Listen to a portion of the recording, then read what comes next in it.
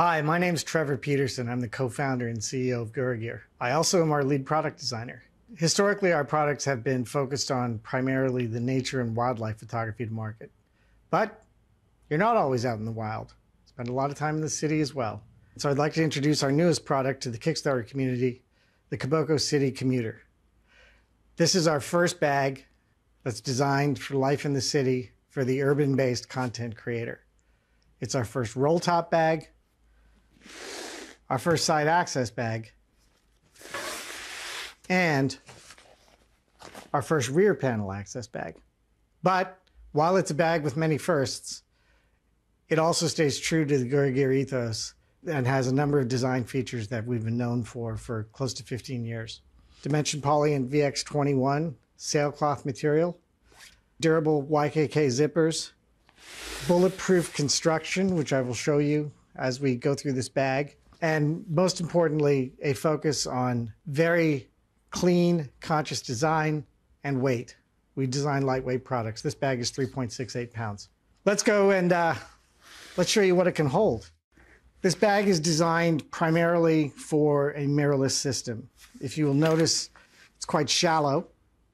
And the reason for that is we wanted to design a bag where your camera stays well padded both laterally and vertically. So a shallow weight means the camera doesn't bounce in this direction. You'll see what I mean when I open the bag up.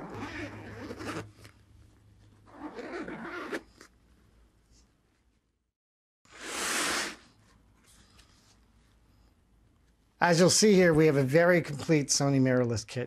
Two A7R bodies, 16 to 35 2.8 G Master, 24 to 70 2.8 G Master, and an 85 1.4 G Master.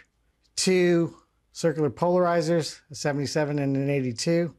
Little battery for the uh, iPhone, and we'll get to this compartment in a second. Let's let's take the cameras out. First off, here in the main camera compartment, we have an A7R and a 2470 2.8. And what you see here is uh, this is very well sized for this particular setup. 8514, notice the hood is on. 2470 28, also notice the hood is on. Second A7R body.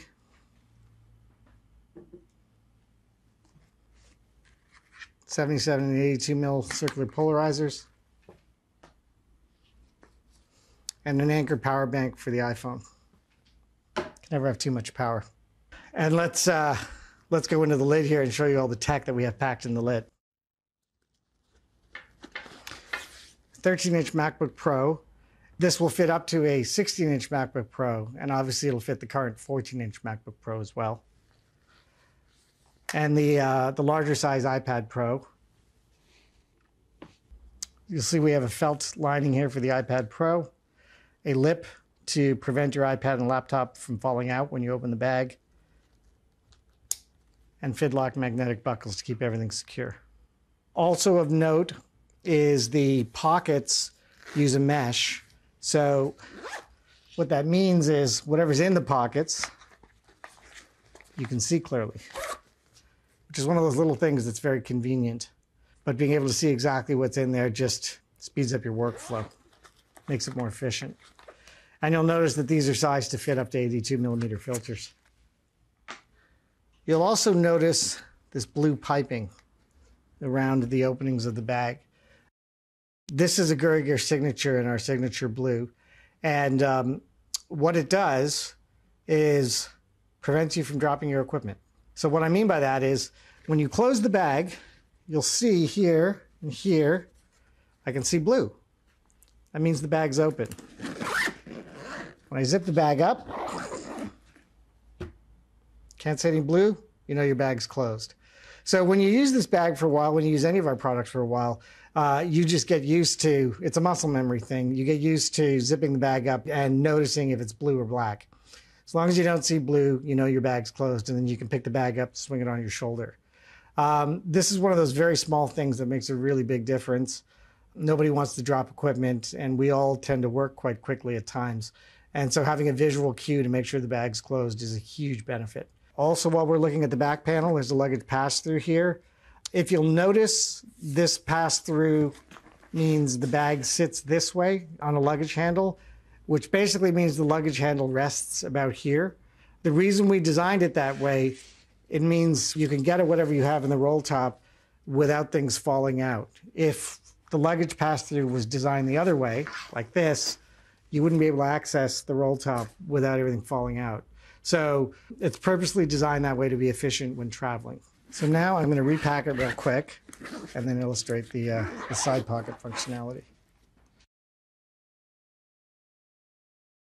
And as you can see from the rear panel access, what this means is two things. One, you can put the bag down.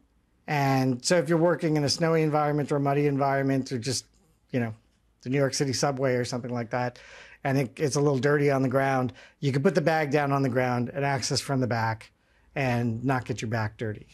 The second uh, feature of rear panel access is when you've got this closed up and on your back, it's very hard to open the back panel when you're wearing the bag, so your equipment is quite secure. Speaking of secure, you'll also notice um, these are lockable zippers. So you know any standard travel lock will fit there and lock the uh, the back panel when you're traveling, or if you have to leave the bag in a hotel room or something like that. One other feature that I'd like to point out while while we're looking at the back of the bag is the number of bar tack stitches across these shoulder straps. Um, there's five rather generous bar tacks. The reason for that is the most stress on a shoulder strap is at this point here. People tend to pick up a bag by one shoulder strap and sling it on their back, and that puts an awful lot of stress in this area here. So we've basically sewn an extra reinforcement across this area to ensure rigidity of the shoulder straps for a long time. Now, I'd mentioned this was our first roll top bag, our first rear panel access bag, and our first side panel access bag. I want to show you a couple of things on the side panel. I'm going to illustrate it from above here. So the side panel access door is a feature that many of you have asked for in our bags. If you'll notice, my hand fits very well here. So initially, if you look at the way this bag is packed, it looks like we didn't measure this correctly. Um, this is deliberately designed to have extra room, so you have room to get your hand in. When you're swinging a bag across and you're using a side panel to get the camera out, there are some other bags on the market that don't leave room for the hand. And so while the while the camera is quite snug in there, you actually can't get in and get a good grip on the camera. And uh, this is obviously expensive kit. You want to make sure you've got a grip on it when you take it out. And then we've included, uh, I never know where to put my lens cap. So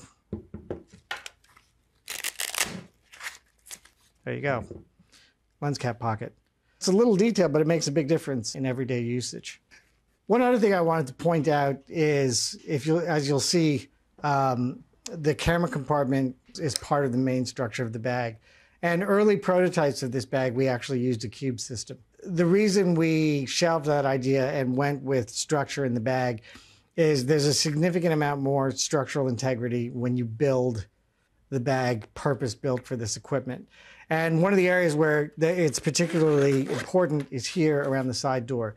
What we found was having a camera cube, uh, the cube moves, the cube has to have a door on the side, and then that door needs to connect to this door. You know, for lack of a better way to put it, there's just a lot going on. So this solution allows more rigidity around the seam, which means the zipper is easier to use. This is purpose built. And what that means is it just the whole system is is cleaner and more structurally sound. And then lastly, you know, if you you don't want to use the whole camera compartment, we provide a mountain of dividers. You can partition it off in other ways to to use this for everyday equipment as well if you'd like. All of the straps have strap keepers. We just don't like having loose straps flopping around, they get in the way. And so the straps for the shoulder straps and uh, this tie down strap are Velcro. And on the top, which I'll get to in a second, they're magnetic. On this side, as you'll see, we have a tripod attached. This is in the standard configuration of the bag. The tripod feet fit into this expanding pocket. and this tie down strap holds everything in place.